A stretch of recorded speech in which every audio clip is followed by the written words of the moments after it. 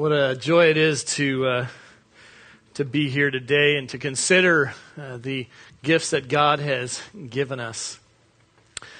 It's Memorial Day weekend, and uh, tomorrow morning on every federal, state, local, and many houses across our nation, our flag will be briskly brought to the very top, and then slowly, ceremonially brought to half mass.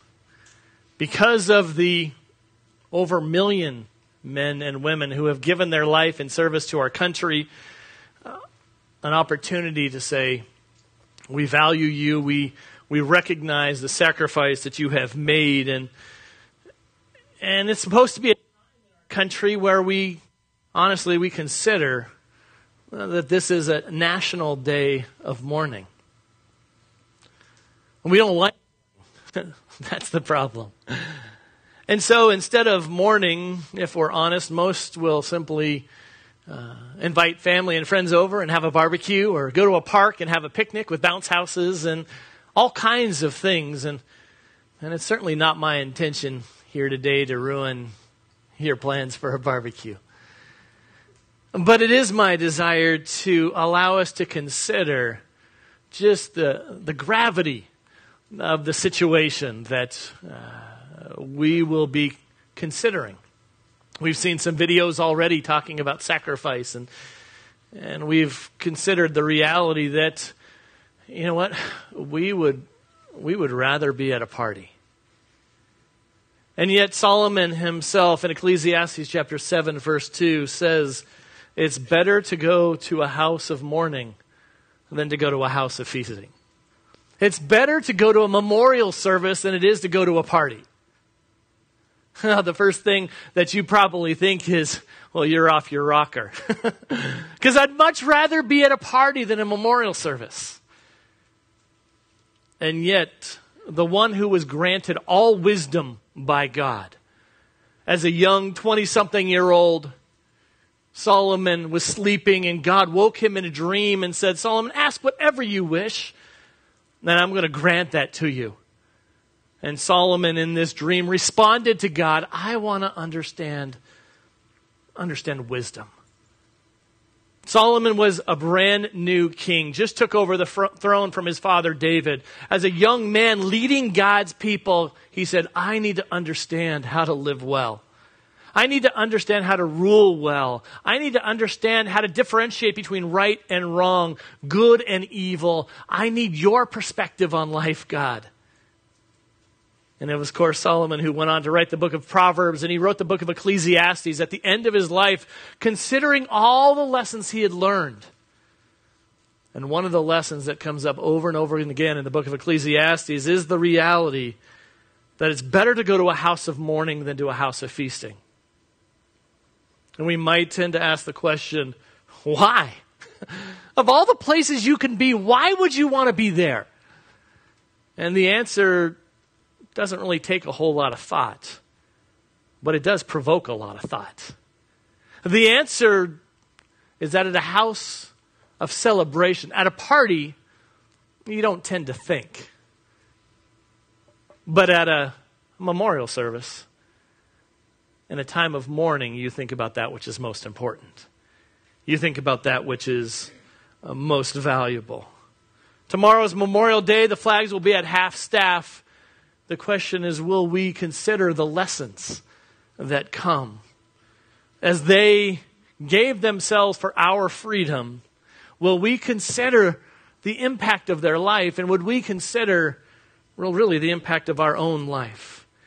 Ecclesiastes 7, verse 2 continues on. It's better to go to a house of mourning than to go to a house of feasting, since that is the end of all mankind. And the living should take this to heart. See, that's why it's valuable to go to a house of mourning. Because one of the things we get to face is the fact that we will not live forever. This is not a message about uh, pessimism but it is about realism. It, it's not a, a, a, my goal to, to be a downer today in any way. In fact, it's my goal to bring us perspective. I mean, I did think about putting a hearse out in front and a casket behind me. but I think just the gravity of our national weekend to consider the lessons that come in a house of mourning. You see, when you come to a house of mourning, you begin to think about that which is most important. And as you do, you say, you know what? I need to consider my own path in life. It says the living should take this to heart. What? What should we take to heart? Well, that every man, the end of all mankind, is death. And that's why we hate memorial services. It, we do hate them because we're going and we're sad because we've lost someone we love. But that's only a, a, a part of why we hate those things. In some ways, even the bigger reason why we hate those things is we're reminded that someday somebody will be talking about me. And the question is, what are they going to say? Know, in Genesis chapter 3, Adam and Eve were walking with God. They were in cool of the garden with God, enjoying the presence of God, and a choice was made. And with that choice came death. And with death came chaos of all sorts. And Romans chapter 5 says it this way Sin entered the world through one man, that man was Adam. We, I know we, man, we like to blame Eve. but God places the blame squarely on Adam's shoulders. Sin entered the world through one man, and death through sin. And in this way, death spread to everyone. Because ultimately, we followed in his path. It's the reality that sin has entered into the world, and with it has come the inevitability of death. That someday somebody will be talking about me. And my question is, what will they be saying? You see, the reason that we hate these kinds of conversations is because we like to live in non reality. Sort of like our reality shows, right? That are completely scripted to put people into positions so that they do things that, well, they may not otherwise do. We like to play in that realm. We like to play in the realm of non reality because reality hurts. Reality is serious. We attempt in our desire to live out our lives to, to put death as far away from us as possible so that we can enjoy life. And yet, then you have to ask the question where does it leave us? Well, from the scripture's perspective, it leaves us inattentive. From the scripture's perspective, it leaves us dispassionate.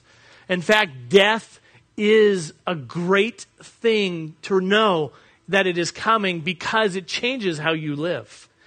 And that's why it's better to go to a house of mourning than to a house of feasting. Ecclesiastes, throughout, Solomon says, much of life that we live is like chasing after the wind. You're chasing something you can never quite grasp. And in the midst of that whole thing, he says, let's consider then how we should live. And this is a warning that scripture gives throughout. In fact, James chapter 4 says it this way Come now, who you say, today or tomorrow we will travel to this city or to that city, spend a year there and do business and make a profit. Uh, that, that makes total sense. I want to do this, and so that's what I'm going to do. I'm going to go here because that's what I want to do. And on the way, I will enjoy this and enjoy that, enjoy the other thing. And yet the warning comes. Verse 14 You don't even know what tomorrow will bring, what your life will be for a while. You are there like smoke that appears for a while and then, and then vanishes. We tend to live life like we're in charge of it. We tend to live life like whatever we desire to do is all that really matters. And yet the scripture's warning is a constant reminder with words like smoke or shadow or mist or wind or like grass or flowers that fade for a little, are there and beautiful and then fade after a while. We recognize the fact that we need to uh, consider our lessons in a house of mourning. We need to consider our life and gain some perspective this weekend because it gives us the opportunity to, to walk with God. Psalm 39, verse 4 says this Lord, reveal to me the end of my life and the number of my days. Let me know how short lived I am. That is not something that we like to consider. and yet, this is a prayer for perspective. It's a prayer to consider the important things in, in life. Psalm 90, verse 12 says, Teach us to number our days carefully so that we may develop wisdom in our hearts. See, if we don't consider the reality that the end could be any time, then we tend to live however we choose. Maybe you've even asked the question before. You know, if, if I knew that I only had blank number of months left to live, would I be doing what I'm doing? The answer for all of us is probably no. And so it gives us the opportunity to ask, Lord, would you change my perspective? Would you allow me to understand that death is imminent? And in so doing, would you allow me to change the way I live? I think that's what God desires in a place of national mourning, is that we would consider. And in our passage, we have an appointment we have an appointment with a divine judge. That's just the reality in Scripture. God says you are meant live, die once, and after that, they, the judgment. And Solomon reminds us in this passage in Ecclesiastes 7, verses 1 and 2, that there's really only two things that are going to matter in the end. And we don't tend to spend a whole lot of time considering those two things in the midst of just living life as we choose to live it. What are those two things? Well, the first, it matters. It matters how you live. It's not rocket science. Houses of wisdom, Solomon's wisdom, it's not rocket science, but boy, does it hit home. A good name is better than the, than the finest perfumes. Solomon says, you know what? This is, this is a thing that we need to consider. How is your name? What is your legacy all about? See, we understand the finer things in life. We understand fine wines and fine houses and fine cars. They are the things that our world gives value to. We say, this is a great thing and I want to pursue that thing. Uh, maybe it's a yacht. Maybe it's a plane. I, I don't know what it is. 1 Kings chapter 3, Solomon has his dream where God is speaking to him and says, ask whatever you wish. And because he asked for wisdom in 1 Kings chapter 3, God says, Because you asked for wisdom, I'm not only going to make you the wisest man who ever lived, but I'm going to make you the wealthiest man who would ever live. And in 1 Kings chapter 9 and 10, the wealth of Solomon is revealed. And just what is described, the, uh, the ranches and the, the gold and the vineyards and the castles and all of the things that you see in that passage are absolutely mind blowing. In fact, if you were to type in on Google, who are the richest men in history, all of them would tell you Solomon is the wealthiest who has ever lived in all of history. Doesn't matter if you compare them to men of the past, like the Rockefellers, or men of the present, like Bill Gates, who we say, wow, billionaire, that is unbelievable. That is so much money. Solomon had more hands down than any of those men, probably combined. And yet, he recognized that, you know what, in the midst of this life, he had all of these things, and and yet it didn't get him anywhere. In Ecclesiastes chapter 6, it says this Here's a tragedy I observed under the sun, and it weighs heavily on humanity. God gives a man riches, wealth, and honor so that he lacks nothing of all he desires for himself, but God does not allow him to enjoy them. Instead, a stranger will enjoy them. This is futile and a sickening tragedy. Why is it that a stranger is going to enjoy them?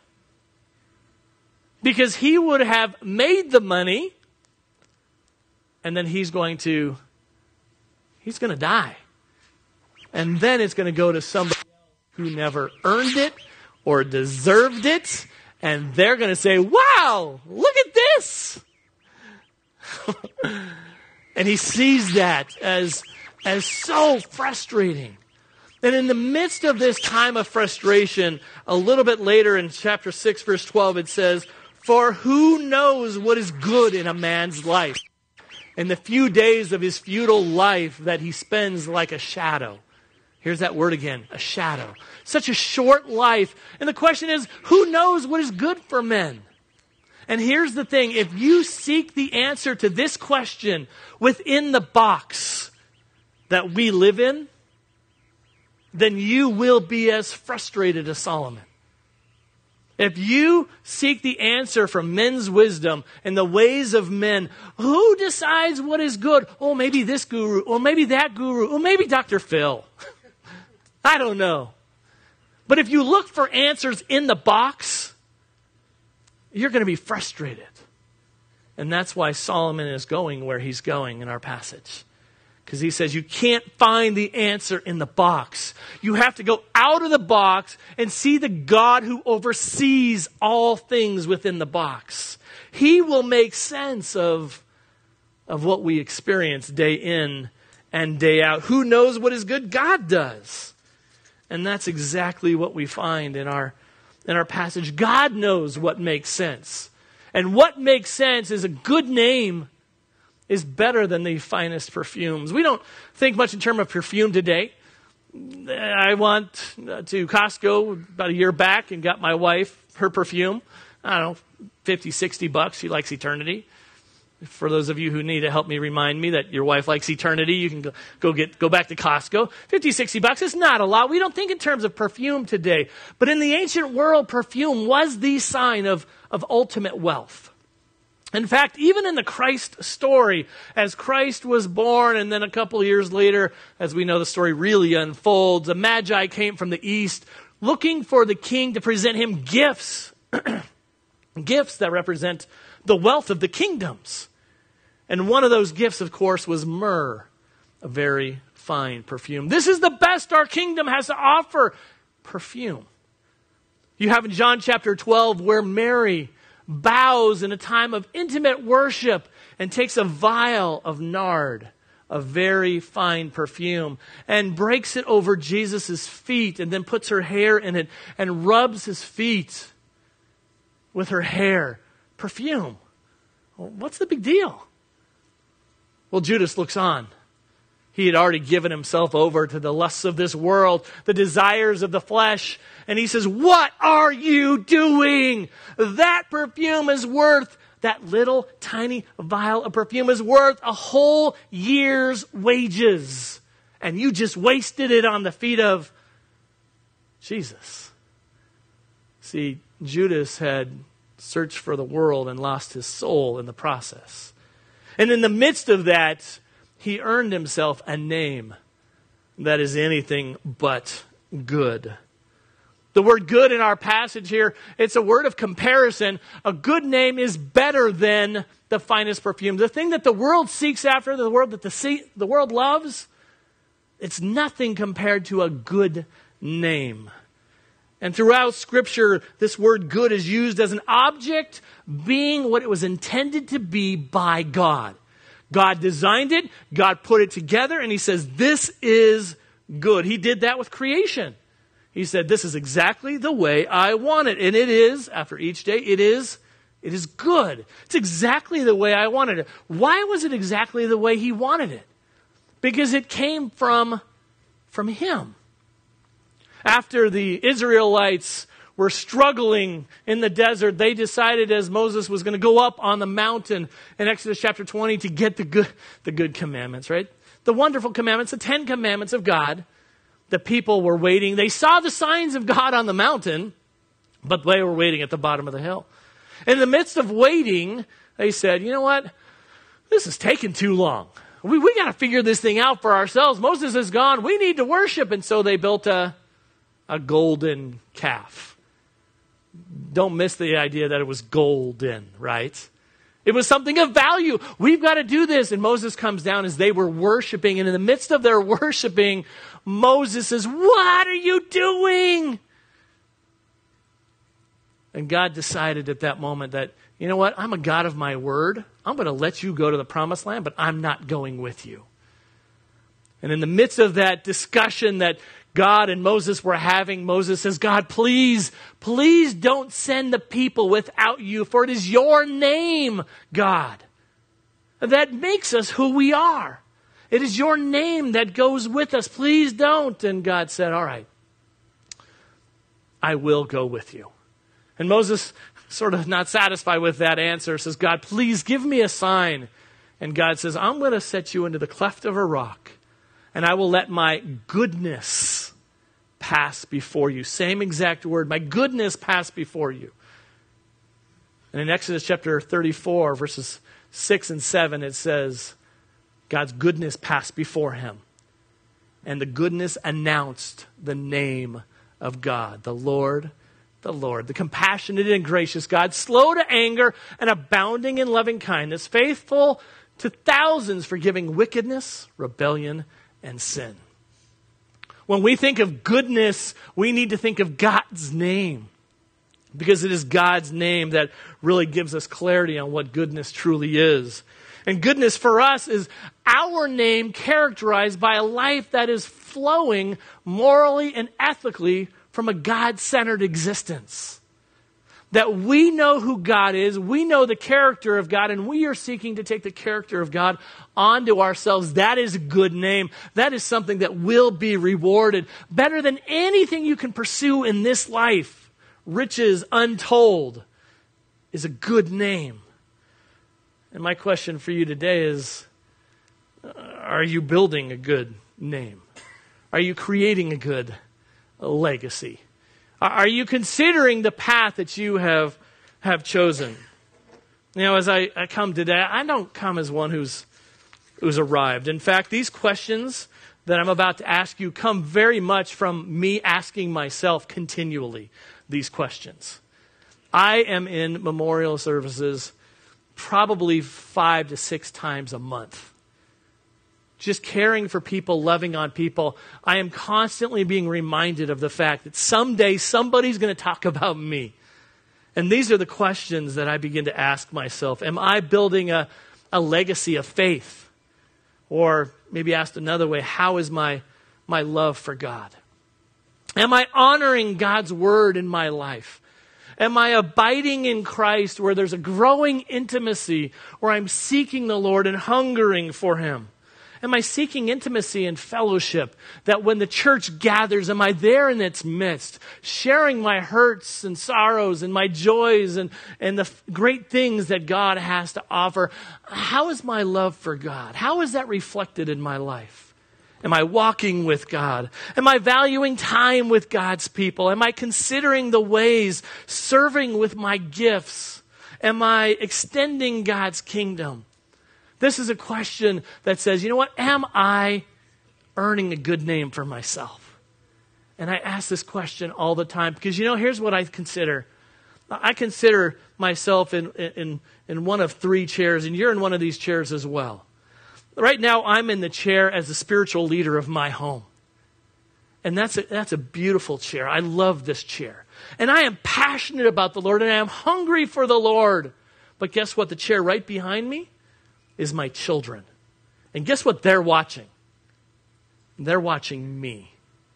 And guess who's going to be watching them? Well, that's the third chair. That's my grandchildren.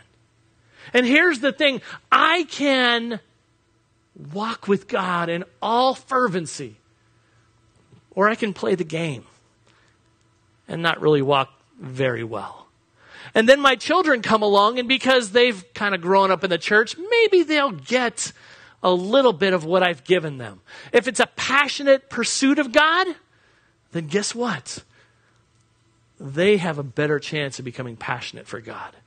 If I am flat, uninterested, I show up, and, and we hang out together and then we leave, guess what my kids are going to be?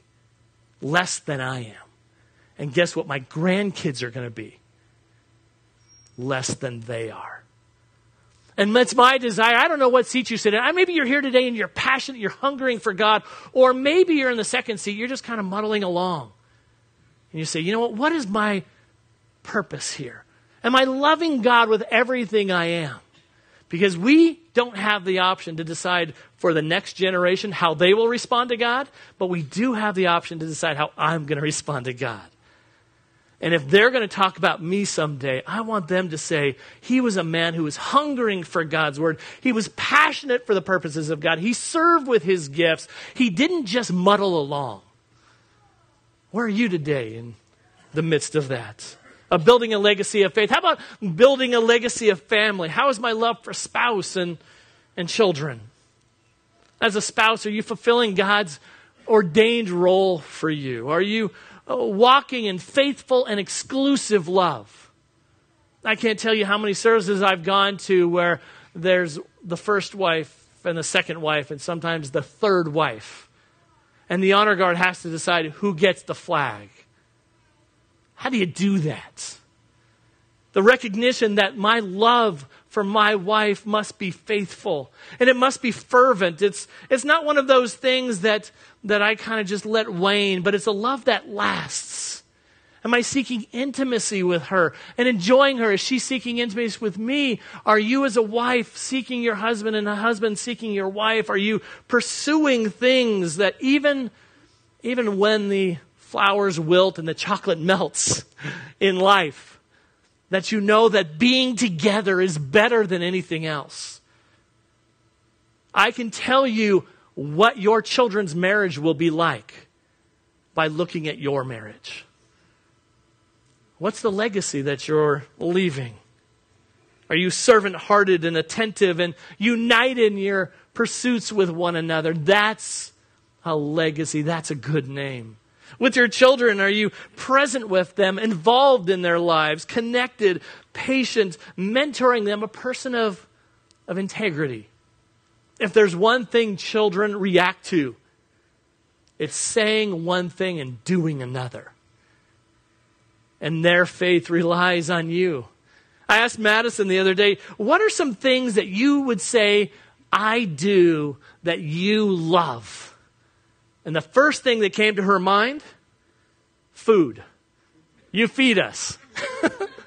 now, Madison is nine, so she didn't put a whole lot of thought into that one. But if I continued to probe her, you know what she would say? She would say, Daddy, would you snuggle with me? And then she would say, No, Daddy, not with your phone. And yet that's become our life. We're so attached to things outside that we have no attachment to the things that are inside. What about a legacy of friendship? A legacy of friendship starting from outside your home where you're blessing and caring for others who are nearby, and then extending that out to the uttermost parts of the earth. A legacy of compassion and mercy and, and, and a willingness to step in. One of the things I love about doing services is when somebody has loved his wife well his children acknowledge it. And then their friends say he was the best. What a joy that is. I don't know where you are today. We waste so much time in building a portfolio and a resume, but this is the only thing that matters is a good name. And it's my desire today to say, you know what? What's your perspective on life? How are you how are you doing? Lord, would you change my perspective? Because ultimately, a good name is to be chosen over great wealth. And favor is better than silver and, and gold. So much time spent, so much time, if we are honest, wasted. What are we living for? What does our name consist of?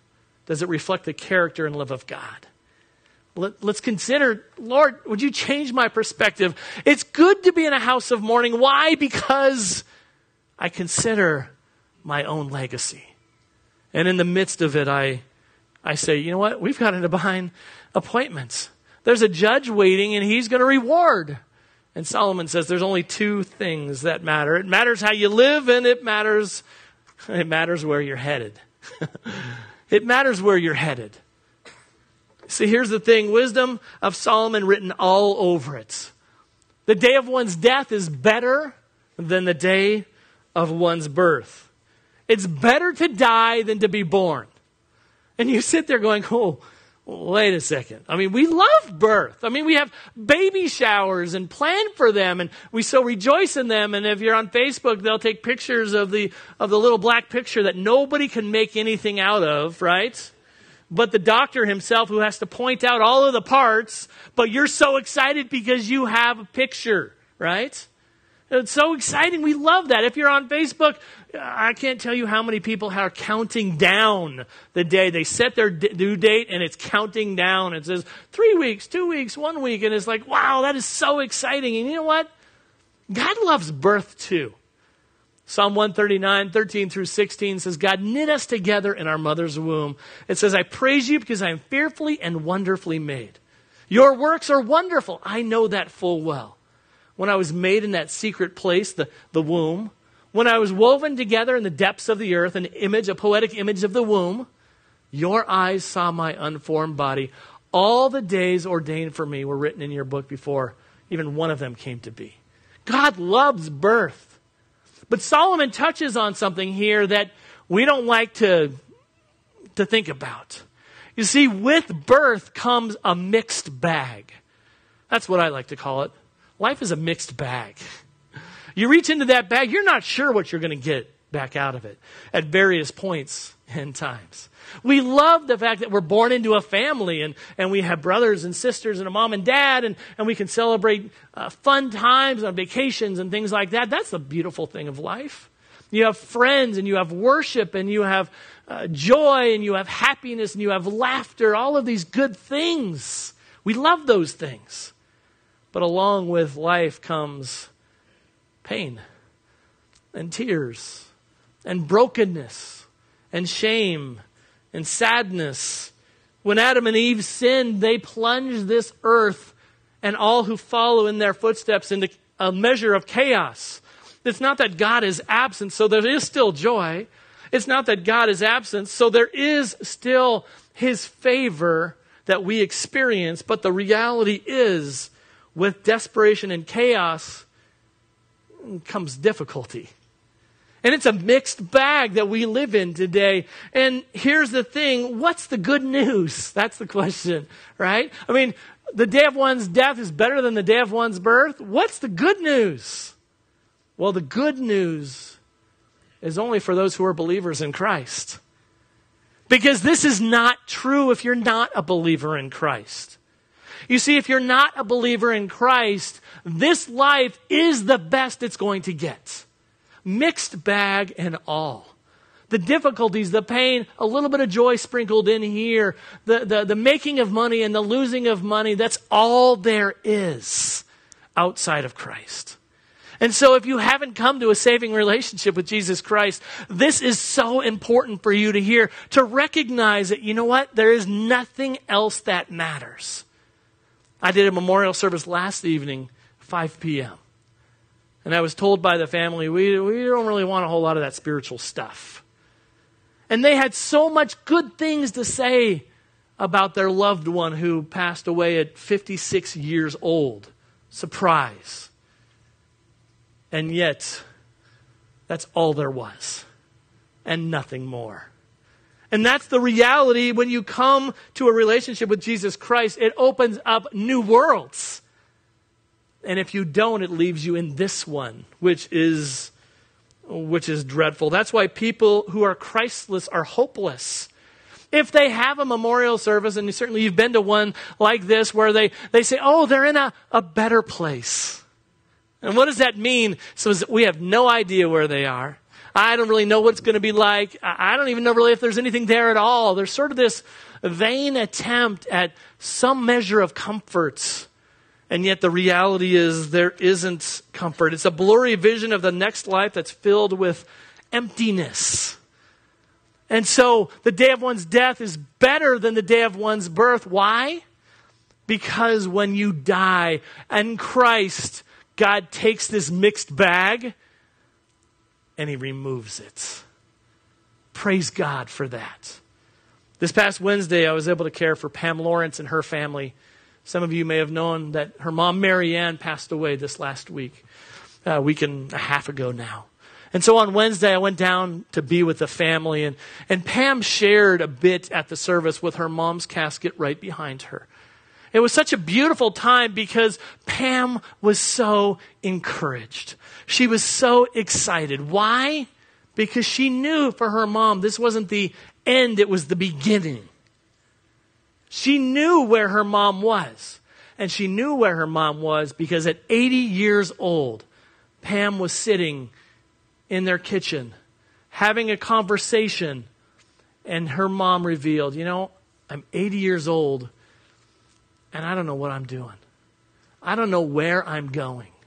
I don't know what's next. And Pam, through a brief conversation, was able to introduce a mom who had grown up in Catholicism and knew when to sit and when to stand and when to rise up on cue, but didn't know the Savior who could give her hope for a future. And Pam introduced her to that Savior. And she came to saving faith at 80 years old. Lessons in a house of mourning, it's never too late unless you're already gone. And at 80 years old, she came to saving faith. And within about, and I'm not exactly sure of the exact time, but within about five years, her mom's mind went dark with Alzheimer's. Pam had about four or five years to walk with her mom in faith. Her mom passed away at 96 years old, 11 years in the darkness, just waiting for her body to allow her to get to heaven. But it was in those couple of years that Pam saw her mom rejoice and grow and read her scriptures. And as I was at that service, Pam shared something, and I want to share it with you. These are her exact words. And this is the encouragement that we can have in death. She said this If my mother taught me anything in her life, it was at 80 years old, she still had the courage to admit that she was unsettled about her life. She didn't know that the God she had gone to worship all of these years didn't know who he was. She didn't have peace. At 80, she sat down with a cup of coffee and introduced herself to Jesus and asked him to be her Savior. And she says, We ache at funerals. We hate to stand at a casket and say goodbye because something in us says this isn't right. Something in us knows we were built forever mom asked for and received peace and assurance about this day years ago. She needed to know she was amazingly loved and forgiven by the God who created her. And that's why I can stand here today and rejoice at her home going, because now she is truly in home. And I look forward to seeing her again, perfect in glory. And then Pam read this quote from Charles Spurgeon Unbelief bemoans the evening shadows, the darkening night, the end of existence. But no, no, cries faith. The night is over and the true day is at hand. The pearly gates are open and the golden streets shine in the jasper light. That's where mom is. And I am so grateful. That's her words at a time where she was mourning the loss of her mom. Why was she so comforted? Because she knew where her mom was going. She knew what was ahead. In fact, Pam, in many ways, wishes she could have beat her there. Because that's the heart cry of those who believe, Lord, I'll stay for a while if that's what you need, but to be present with the Lord is so much better than to be, to be here on earth. Why is that true? Well, let's just briefly look at Revelation chapter 21, verse 1. It says this Then I saw a new heaven and a new earth, for the first heaven and the first earth had passed away, and the sea no longer existed. Rejoice that the old is gone and the, the new has come. You see, the old was filled with curses. Sin had plagued this land. Even the sea is no longer needed. Why the sea? We love the sea. The beach. Oh, no beach. The sea is a place, the scriptures say, that swallows up the dead.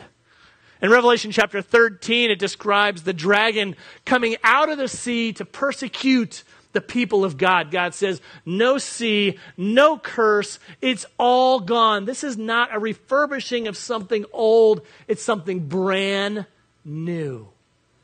Perfect. Exactly the way he designed it. It goes on and tells us a little bit about this city. It says, I also saw a city, the holy city, New Jerusalem, coming down out of heaven from God, prepared like a bride adorned for her husband. What a, what a glorious picture that is. I can't, honestly, I cannot think of a better picture of a bride for her husband to look at expectation and desire and joy. I can still see the day when I got married to Nikki 22 years ago, and as the doors of the back of the church opened and the light flooded in, and she crossed through that light to come down that aisle. What an amazing image that is. And that's exactly what we have. This is a holy city. It's God's city. Why is it God's city? Look at our passage. It says, Look, look, behold, God's dwelling is now with humanity. And he will live with them, and he will be his people, and God himself will be with them and be their God. There's no longer a sense of separation. There's no longer a sense of God is distant and I am here present. There's no longer a sense that God escapes from the distant, comes into the present, for example, in Jesus Christ, where we're close and intimate with Him, and then He dies and then goes back to heaven. So there's distance again. It's not distance and closeness and distance. It's now, distance is now turned into closeness and intimacy. What better thing could we desire? Our passage goes on and says, guess what? The mixed bag, well, he's going to remove it. Look at this. Verse 4 He will wipe away every tear from their eyes. Death will no longer exist. Grief, crying, and pain will exist no longer because the previous things have passed away. What is our guarantee in heaven? The things that we love about this life, those things continue. We love worship, and guess what? Worship continues. We love joy, and we love laughter, and those things continue. And we love family, and there's reunion in heaven.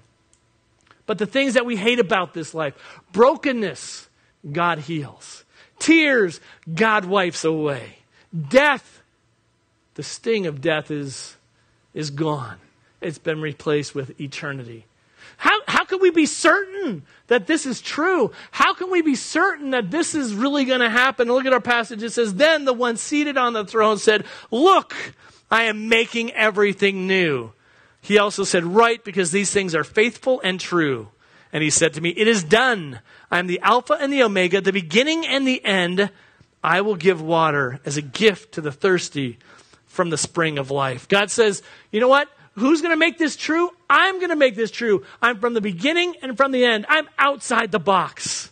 And I can do this. And I have spoken. My name is my word. And what is my name? My name is Alpha and Omega. I am the one who is faithful. I am the one who has said, Look, all things are new. These words are faithful and they're true. They can be relied upon. There is no fear of death for those who belong to Christ. Amen? Amen. Absolutely.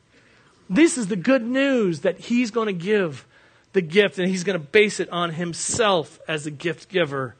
Who gets the gift? Well, here's our passage. The victor will inherit these things, and I will be his God, and he will be my son. He will be, we will be sons and daughters of God. Who's the victor? The victor is the one who came to saving relationship with Jesus Christ. The victor is the one who has walked under the lordship of Christ, building a legacy of faith as he loves his family and as he cares for the world around him for the glory of God because he wants his character to reflect the goodness of God. That's the victor. The victor is the one who isn't stumbling over trials and losing his faith or walking into temptation without sense of what's coming next. God's reminder to us is this that He has made all things new. How can we be sure? Because He's put His name on it. In fact, the very one who said, It is finished and paid the penalty for our sins, says now, It is done. It is over. And so, my question for you is what is your perspective? What's your perspective on life? How are you living it? Unfortunately, in the age of mass media and mass communication, we have the reality that life gets muddled with reality TV. It gets skewed. I recently read an article, and I just thought this was, this was so important. I read an article recently on Fox News discussing ABC's reality show, The Bachelorette. It's a bachelorette. You, you know the story where a bachelorette comes and tries to win the hearts of 12 or 13 guys. And in the midst of that show, after it was finished taping, but before it aired, one of the bachelors died in an accident. He was one of those extreme sports guys, and, and he died in the midst of it. And then the season aired, and he was still in the show. ABC didn't cut him out. They made the decision to leave him in. And everybody got upset and angry that they would do such a thing. Dr. Keith Ablow, a psychiatrist who works as a medical expert with Fox News, said this The usual contrivances of the bachelorette are all in place, of course. A pretty woman agrees bizarrely to choose a fiance from a collection of men who, also strangely, compete for her on national television. These people are regarded as sane only because our culture has gone utterly insane, he says. This season, though, ABC tripped over a bit of reality for its fake reality series. Eric Hill died. He was young, he was adventuresome, and his untimely, very unscripted death was shocking and could actually teach viewers something about life. And here's he says the truth is that life is fleeting, that death is unpredictable, and that each of us should spend life pursuing things that matter while attempting to do others no harm. And it is Mr. Hill's very unfortunate legacy that he will be remembered by millions of people who did not know him as someone whose last widely known project in life was playing himself on TV, trying to seduce a woman who was not worthy of seducing. That was his legacy. And ABC let it be shown. Why didn't people like it? Because they don't want to look at death. They want to pretend and, and fake life. My desire for you today, as you wander through this weekend and day by day as you wander through life, is that you would consider your name, that you would consider your future, and that you would live in light of that. For that is the best the best way to live. Bow your heads with me. Father, we, we celebrate your goodness to us. Father, thank you so much that for those who have come to saving faith in Jesus Christ, that we have a future that is so good, it's not to be compared with anything else.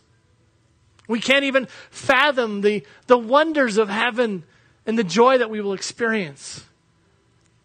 And yet, Father, there are some who are here who very likely may just be playing a game.